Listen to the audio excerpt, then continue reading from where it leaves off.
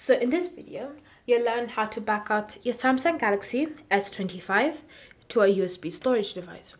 So for this video, I'll be using a hard disk, but if you have any other storage device, such as an SSD or a USB flash drive, they can still be used. So the first step when it comes to backing up is to connect your USB device to your phone. If you're using a newer model of your USB storage device, such as a flash drive or SSD, you'll notice that you'll be able to plug it in directly because it will most likely be a Type-C. But since I'm using the older model, I'll also need to use a OTG connector so that I can insert the flash drive into the connector and the connector into my phone. So it just depends on what kind of USB storage device you're using. But once you've connected your USB storage device to your phone like that, then the next step is to wait for that storage device to be read by your device. So just wait patiently. And you can always choose to confirm by checking in the notifications. You should see the option USB storage added, which means that your phone has successfully detected that you have added a USB storage device.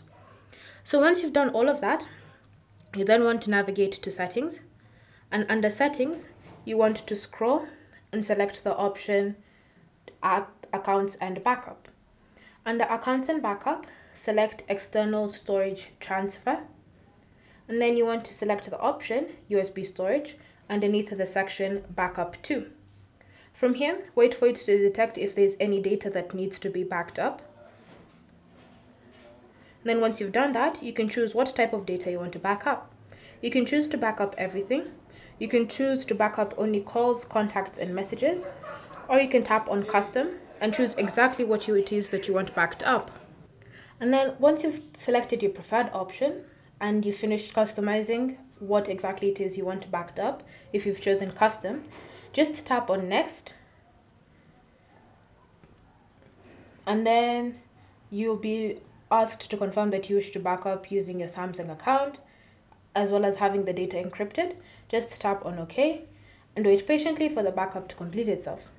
As you're waiting, you can choose to enable keep screen on so that your screen won't turn off during the backup process, allowing you to keep track of it easily. If you want to stop the backup, you can just tap on stop and the backup will be stopped on your phone. So just wait patiently for the backup to complete itself then once it's done, you'll then need to unmount the USB device.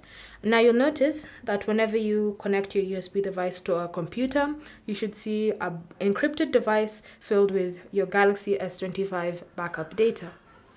Thank you for watching. If you have any questions or comments, leave them down below and we'll get back to you.